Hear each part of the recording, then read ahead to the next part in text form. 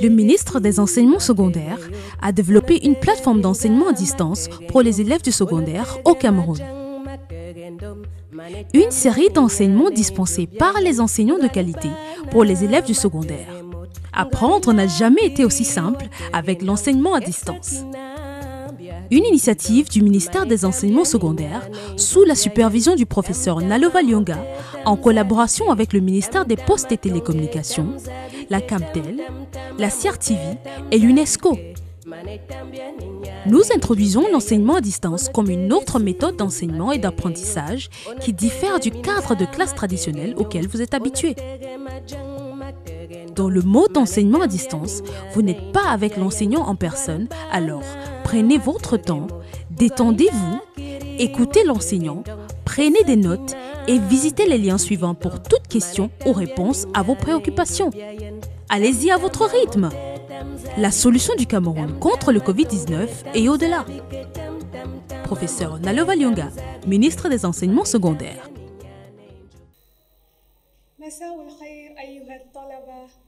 معكم صفية محمد مدرسة اللغة العربية في الصف الأو في الصف الثالث الإعدادي. بمعنى نحن الآن في الصف الثالث الإعدادي من قبل كنا في الصف الأول الثانوي.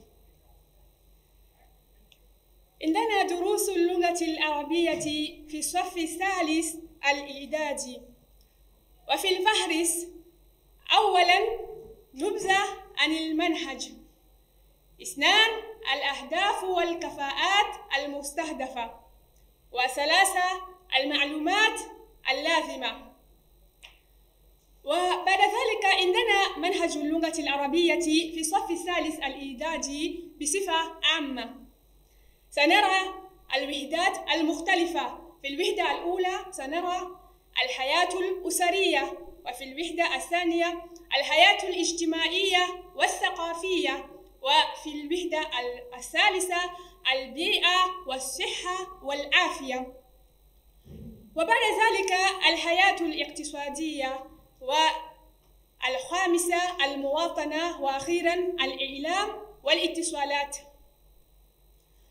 وبصفة عامة عندنا أيضا الأهداف والكفاءات المستهدفة الذي ننتظر منكم. في النقطة الأولى التعرف على اللغة العربية صوتا وحرفا وكتابة. وبعد ذلك عندنا الكلام والتعبير والمحادثة مستخدما القواعد بمعنى نأخذ القواعد التي سنراها في الدروس ونستخدمها في عباراتنا. وأخيرا عندنا قراءة جمل بسيطة. وفي المعلومات اللازمة عندنا نطق الحروف وقراءة جمل بسيطة واستعمال المفردات الواردة في النص والقواعد في كلامنا وترتيب جمل بسيطة بهذه المفردات التي سنراها. نحن في الوحدة الثالثة البيئة والصحة والعافية. سنتناول ماذا في هذه الوحدة؟ أولا أحافظ على أعداء جسمي ثم بعد ذلك الضمائر المتصلة للأسماء نعم الضمائر المتصلة للأسماء أولا أحافظ على أعداء جسمي. الدرس الأول أحافظ على أعضاء جسمي. هذا هو موضوع درسنا اليوم. الخطة بمعنى ماذا نرى في هذه الحصة؟ واحد الهدف اثنان المعلومات اللازمة ثلاثة أنشطة الحصة أربعة الملخص وأخيرا الواجب المنزلي. ماذا ستفعلون في البيت؟ نبدأ بالهدف. ما هو هدف درسنا اليوم؟ في الهدف عندنا أن يتعرف الطالب على أعداء جسم الإنسان. وثانيا أن يكون الطالب جملا بسيطة. وثالثا أن يحافظ على أعضاء جسمه أو على نظافته. وأخيرا أن يهتم أن يهتم الطالب بصحته. وفي المعلومات اللازمة عندنا أعداء جسم الإنسان. نظيفة البدن والصحة واستعمال المفردات المتعلقة بالصحة والعافية. كما أننا في الوحدة الثالثة قلنا عن الصحة والعافية والبيئة. وفي أنشطة الدرس عندنا فهم المقروء ثم المفردات. سنرى فيما سيأتي إن شاء الله الترجمة والتعبير. لكن اليوم نحن في فهم المقروء والمفردات. في فهم المقروء. انظروا جيدا واستمعوا ورددوا ماذا تسمعون. بمعنى انظروا استمعوا وأردد. انظروا جيدا إلى هاتين السورتين وقولوا لي ماذا تنظرون. ماذا في هذه السوره السوره الأولى ماذا ترون فيها؟ وكذلك السوره الثانية. نعم أنت يا فاطمة ماذا رأيت؟ جميل. نعم هذا أعداء جسم الإنسان وهي تمشط شعرها. نعم أعبر عن الصورتين. عندنا أعضاء جسم الإنسان الصحة ونظافة البدن. لماذا؟ كانت تفعلين هكذا. الآن نقرأ النص. بمعنى فاطمة هي التي تتحدث. أنا سلامة الجسم. عيني نظيفة وأذني نظيفة. أنفي نظيف وفمي نظيف. صدري سليم وظهري سليم.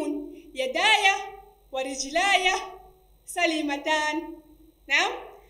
أنا سلامة الجسم. لماذا أنا سلامة الجسم؟ لأن عيني نظيفة وأذني نظيفة. وأنفي نظيف وفمي نظيف وصدري سليم وظهري سليم ويداي ورجلاي سليمتان. نعم تفهمون. بمعنى إذا كانت إثنان نقول نظيفة وإذا كان مفرد نقول نزيف.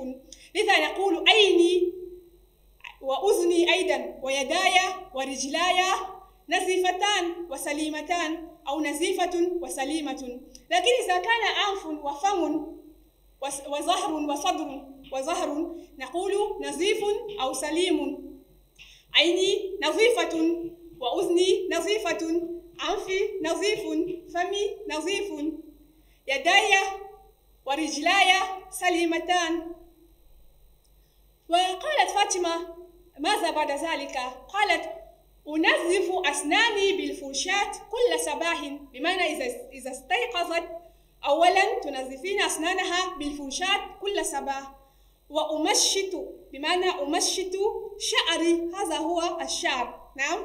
وأقلم أقلم أظافري كل أسبوع وأحفظ بدني من الأمراض. أفعل هذا لماذا؟ لأن أحافظ بدني من من ماذا؟ من الأمراض. لا أضع لا أضع أصابعي في عيني لأن يمكن يكون ليس سليمة. إذا كانت ليست سليمة لا أضعها في عيني. وأغتسل كل صباح ليكون صحيح الجسم. بمعنى أغتسل أتحمم هكذا كل صباح. قالت ماذا؟ قالت أنظف أسناني بالفرشاة كل صباح وأمشط شعري وأقلم أظافري كل أسبوع. وأحفظ بدني من الأمراض. لا أضع أصابعي في عيني. أغتسل كل صباح لأكون صحيح الجسم. الآن بعد فهم المقروء ننتقل بعد فهم النص عفوا ننتقل إلى التدريبات لنفهم النص. ماذا كنا ندرسها؟ التدريب الأول. انظروا جيدا. اختاروا الجواب الصحيح بعد فهم النص. أقرأ النص ثم أصحي أو اختاروا الجواب الصحيح. الجملة الأولى عيني. نعم عيني. ماذا؟ عيني نقول نظيفة أو عيني سليم أو عيني وسخ. ماذا تكون في الجواب؟ لأن عيني نرى عيناي. نعم قلنا إذا كانت عيناي و وماذا؟ وأذناي. نقول ماذا؟ نظيفة أو سليمة أو وسخة؟ أو نظيف أو سليم أو وسخ؟ نرى الجواب عيني نظيفة. جميل. هذا هو. نعم. عيني نظيفة. وفي الجملة الثانية صدري. صدري مفرد. صدري نظيفة. هكذا يقال. صدري سليم أو صدري نظيف. ما هو الجواب الصحيح؟ ماذا قلنا في النص؟ ماذا قالت فاطمة في النص؟ نعم الجواب صدري سليم. نعم صدري سليم. ننتقل إلى الجملة الثالثة. يداي ورجلاي نظيف. صحيح؟ يداي ورجلاي سليم صحيح؟ أو يداي ورجلاي سليمتان. ما هو الجواب الصحيح؟ نعم أنت يا فاطمة. بصوت عال حتى نسمع. نعم الجواب الصحيح هو يداي ورجلاي سليمتان. هكذا لأن يد إننا مثنى. يد ورجل. نعم وعين وأذن. نقول سليمتان أو نظيفتان. نرى الجملة الرابعة والأخيرة. فمي فمي نقول ماذا؟ فمي مؤنث أو مذكر مفرد أو مثنى. نعم فمي هو مفرد. فمي مفرد وفمي مذكر. إذا نقول فمي نظيف أو فمي سليمة أو فمي سليمتان. نعم فمي نظيف فمي نظيف هذا هو. وبعد ذلك ننتقل إلى التدريب الثاني. أجيب أو أجب أو أجيب بنعم أو لا. إذا كان الجواب صحيح نقول نعم وإذا كان الجواب غير صحيح نقول لا بمعنى خطأ. أولا نقرأ النص الذي رأيناه سابقا ثم نختار الجواب الصحيح. أذني وعيني نظيفتان. أذني وعيني نظيفتان. الجملة الثانية أضع أصابعي في عيناي. بمعنى هكذا أضع أصابعي في عيناي. الجملة الثالثة أتحمم. كل صباح. أتحمم أو أغتسل كل صباح. الجملة الرابعة أقصر أظافري كل صباح. هكذا قلنا في النص. إذا سنرى الجواب. أذني. بمعنى أذني وعيناي نظيفتان. صحيح أو خطأ؟ الجملة الثانية. أضع أصابعي في عيناي صحيح أو خطأ؟ وفي الجملة الثالثة أتحمم كل صباح صحيح أو خطأ؟ وفي الجملة الرابعة والأخيرة أقصر أظافري كل صباح يمكن ذلك كل صباح أو كل مساء؟ إذا سنرى الجواب الصحيح. نعم أذني وعيناي نظيفتان صحيح هذا هو. نعم. وفي الجملة الثانية أضع أصابعي في عيناي. لا. خطأ. ماذا قلنا؟ قلنا في النص ألا ندع أصابعنا في عيناي. نعم. لا نفعل ذلك. وفي الجملة الثالثة أتحمم. بمعنى أتحمم كل صباح. نعم. هذا هو. كل صباح. نتحمم. وفي الجملة الرابعة أقصر أظافري كل صباح لا يمكن ذلك إلا بعد الأسبوع. نعم لا يمكن أن نفعل ذلك إلا بعد أسبوع. وبعد ذلك ننتقل إلى المفردات. أنظر وأستمع وأردد. نعم المفردات الواردة في النص. ماذا رأينا؟ شعر يد رجل عين فم أذن شعر يد رجل عين فم وأذن. هذه هي المفردات الواردة في النص بمعنى شعر أذن عين أنف ورجلاي. الجملة الأولى نرى الصورة الصورة توافق بالعبارات أو بالمفردات. المفرد الأول أتحمم بمعنى أتحمم. نعم؟ نعم هكذا في الصورة أيضا. وفي الجملة الثانية بدني هذا هو بمعنى الجسم. بدني بمعنى الشعر العين الفم الأنف والأذن واليداية وكل هذه الأعداء لذا نقول بدني. وأمشط. هذا هو أمشط. نعم.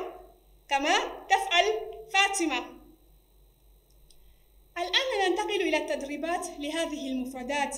سل بين الكلمة والصورة نرى أولا الصورة ماذا فيها؟ ونرى الكلمات ونسل بينهما. الكلمة الأولى أتحمم. بمعنى أتحمم. نعم. والكلمة الثانية بدني. بمعنى أعضاء جسم الإنسان. وفي الجملة وفي الكلمة الثالثة عفوا أمشط أمشط. أتحمم بدني وأمشط. ونرى السورة الأولى والسورة الثانية والسورة الثالثة. إذا ما هو الجواب الصحيح؟ أعطيكم دقيقة لتفكروا. نعم هكذا. أتحمم بمعنى السورة الثالثة. بدني. نعم بدني السورة الأولى. بمعنى شعر رأس عين أنف فم أذن يد ورجل وصدر وظهر وبطن. نعم. والكلمة أو المفرد الثالث نرى أمشط. أمشط بمعنى فاطمة. أمشط أمشط شعري. الملخص عندنا شعر عندنا عين عندنا يد عندنا رجل عندنا فم وعندنا أذن. شعر رأس عين أذن فم أنف فم أذن يد صدر ظهر ورجل. الآن ننتقل إلى الواجب المنزلي الواجب الأول والواجب الثاني. الواجب الأول رتب الكلمات لتكون جملة مفيدة.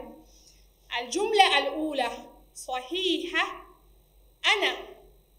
صحيحة أنا. الجملة الثانية نظيف فمي. وأنفي. الجملة الثالثة سليمتان رجلاي ويداي. الجملة الرابعة بدني من الأمراض أحافظ. إذا افعلوا هذا في البيت. والواجب الثاني املأ الفراغ بالكلمة المناسبة. يعني نقرأ النص ثم نفعل التمارين في البيت. الكلمات التي بين القوسين عندنا أسناني هذا هو أسناني وبدني وشعري وأظافري. إذا الجملة الأولى نختار الكلمة الصحيحة المناسبة. أحافظ نقط نقط نقط من الأمراض. أحافظ أسناني أو بدني أو شعري أو أظافري من الأمراض. مثال نقول ماذا؟ أحافظ أسناني أحافظ بدني أحافظ شعري أو أحافظ أظافري. إذا اختاروا أنتم الكلمة الصحيحة. نقول ماذا؟ أحافظ ماذا من الأمراض؟ وفي الجملة الثانية عندنا أنظف بالفرشاة. أنظف ماذا؟ أسناني بدني شعري أو أظافري. وفي الجملة الثالثة أمشط أمشط شعري أسناني أو بدني أو أظافري. وفي الجملة الرابعة أقلم هذا هو أقلم. إذا أقلم ماذا؟ أقلم أسناني أو أقلم بدني أو أقلم شعري أو أقلم أظافري. إذا افعلوا هذا في البيت. وبعد ذلك ننتقل إلى الدرس القادم وهو عن الضمائر المتصلة للأسماء. للمفرد للمفرد فقط ليس للمثنى ولا للجمع. الضمائر المتصلة للأسماء بمعنى la grammaire sur le pronom personnel suffixe. الخطة. عندنا تصحيح الواجب المنزلي سنبدأ ب correction des exercices précédentes. بمعنى سنصحح أولا الواجب الذي أنهينا بها. ثم بعد ذلك الهدف ما هو objectif du cours ثم بعد ذلك عندنا المعلومات اللازمة وثم بعد ذلك أنشطة الدرس والملخص بمعنى ماذا قمنا به. وأخيرا الواجب المنزلي ماذا ستفعلون أيضا في البيت؟ أولا تصحيح الواجب المنزلي الواجب الأول والواجب الثاني. ماذا قلنا في الواجب الثاني؟ في الواجب الأول أولا الواجب الأول رتب الكلمات لتكون جملة مفيدة. صحيحة أنا نظيفان فمي وأنفي سليمتان رجلاي ويداي بدني من الأمراض أحافظ. ما هو الجواب الصحيح؟ نرتب الكلمات لتكون هذه الجملة مفيدة لأنها غير غير مفيد الآن. الجواب نقول صحيحة أنا نقول أنا صحيحة. الجملة الثانية فمي وأنفي نظيفتان. فمي وأنفي نظيفان. عفوا. الجملة الثالثة يداي ورجلاي سليمتان. ثم الجملة الرابعة والأخيرة نقول أحافظ بدني من الأمراض. وفي الواجب الثاني عندنا ماذا؟ إملأ الفراغ بالكلمة المناسبة. بمعنى نختار هذه الكلمات التي وضعناها بين القوسين نختار الكلمة المناسبة للجملة. الجملة الأولى أحافظ. أحافظ ماذا من الأمراض؟ وفي الجملة الثانية أنظف. أنظف ماذا؟ بالفرشاة وفي الجملة الثالثة أمشط. أمشط ماذا؟ شعري رأسي أنفي عيني فمي صدري ظهري أو ماذا؟ أو أظافري. ثم أقلم. أقلم ماذا كل أسبوع؟ نرى الجواب. نعم كما فعلت أنت يا فاطمة. املأ الفراغ بالكلمة المناسبة. أحافظ بدني من الأمراض. صحيح هذا هو الكلمة المناسبة. وفي الجملة الثانية أنظف أسناني بالفوشات نعم هكذا قلنا في النص. وفي الجملة الثالثة أمشط أمشط شعري. وفي الجملة الرابعة أقلم أقلم أظافري كل أسبوع ليس كل صباح لكن كل أسبوع وماذا عن الهدف؟ بعد تصحيح الواجب المنزلي انتقلنا إلى الهدف ما هو هدف درسنا اليوم؟ قلنا نحن في الضمائر المتصلة للأسماء وهذه الضمائر للمفرد فقط لأننا في كاتخيم فلا بد أن نكون مهددة إذا الهدف هو أن يميز الطالب بين الضمائر المنفصلة والضمائر المتصلة. نعم؟ لأن في فرق بين هذه الضمائر. وبعد ذلك أن يستخدم الضمائر المتصلة في كلامه. نعم؟ مثلا إذا أردت أن أتحدث فلا بد أن أستخدم هذه الكلمات أو هذه الضمائر في كلامي.